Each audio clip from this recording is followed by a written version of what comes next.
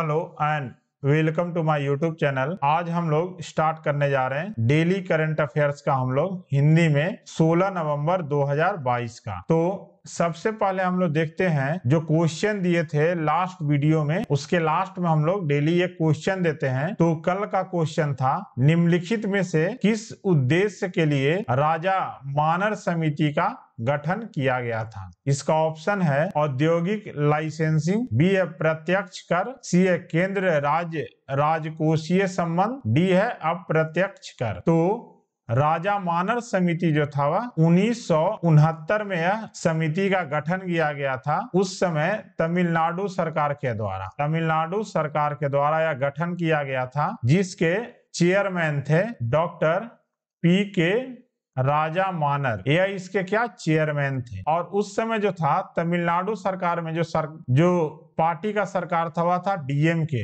DMK का सरकार था। और यह जो राजा मानर समिति है, वह गठन किया गया था केंद्र राज्य, राजकोषीय संबंध के लिए। तो इसका सही उत्तर हो जाएगा ऑप्शन नंबर सी। केंद्र राज्य, राजकोषीय संबंध के लिए जो है राजमानर राजा मानर समिति का गठन किया गया था। अगला हम लोग स्टार्ट करने जा रहे हैं राष्ट्रीय करंट अफेयर्स के द्वारा, यानी कि नेशनल करंट अफेयर्स का जो न्यूज़ है, उसको हम लोग डिस्कस करेंगे। इसमें पहला जो है, देश का, यानी भारत का पहला मल्टी मॉडल लॉजिस्टिक पार्क का जो निर्माण किया जाएगा, वह चेन्नई में इसका निर्माण किया जाएगा।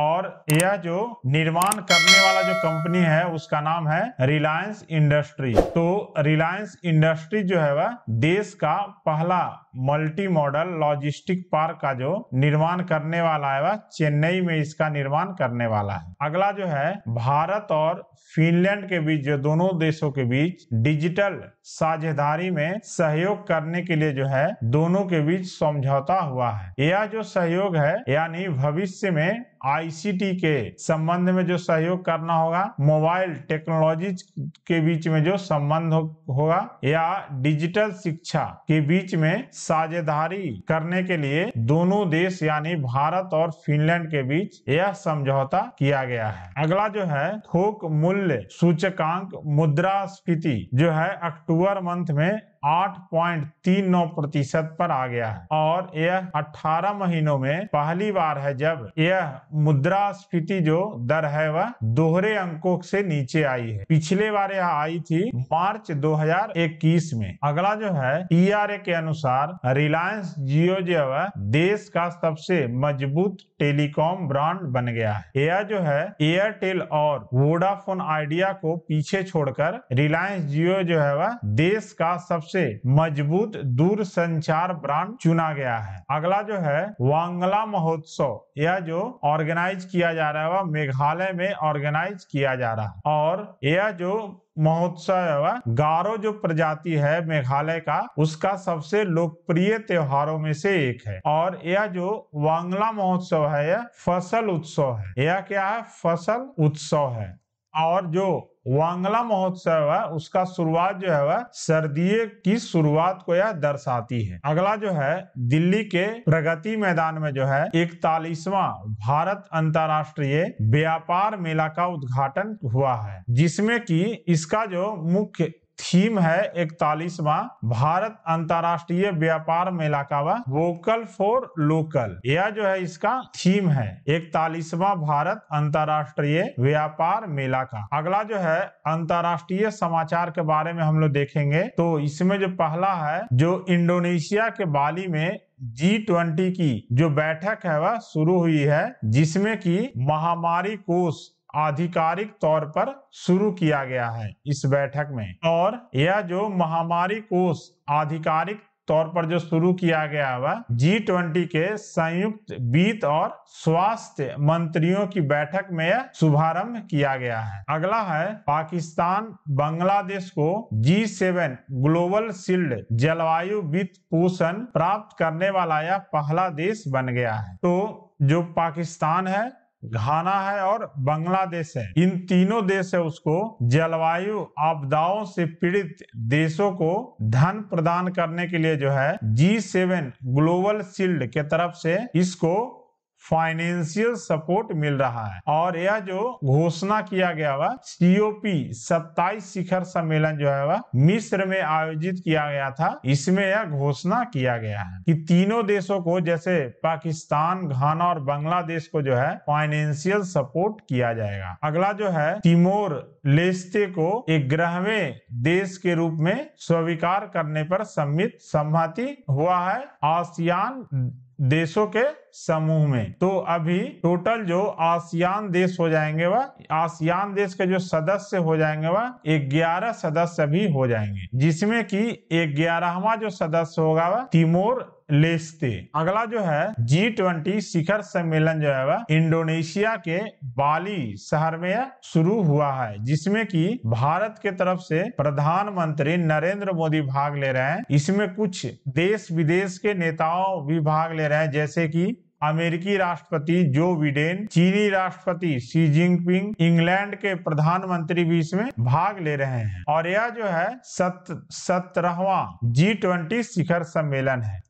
क्या सत्रहवा या जी ट्वेंटी शिखर सम्मेलन है? यह जो है, दो दिन का यह शिखर सम्मेलन है, जिसका विषय जो होगा वह एक साथ पुनः प्राप्त करें, मज़बूत हो जाएँ। यानी कि अभी जो विश्व स्तर पर जो है, आर्थिक स्थिति जो पैदा हुई है, इससे जो रिलेटेड दुनिया में जो है, हर देश का जो है, वृद्धि दर जो है, कम होता जा रहा है। तो जो है वैश्विक स्तर पर आर्थिक सुधार लाना बहुत ज़रूरी है। इसका जो शिखर सम्मेलन का विषय यही रखा गया है। अगला हम लोग देखते हैं पुरस्कार से रिलेटेड जो न्यूज़ है इसके बारे में। तो अभी स्पेनिश फ़िल्म निर्देशक हैं कार्लोस सौरा। इनको तिरपनवे भारतीय अंतर्राष्ट्रीय फ़िल्म महोत्सव में जो है सत्यजीत रे लाइफ टाइम अचीवमेंट अवार्ड से सम्मानित किया जाएगा। तो स्पेनिश फ़िल्म निर्देशक हैं कार्लोस सोरा। इनको जो है सत्यजीत रे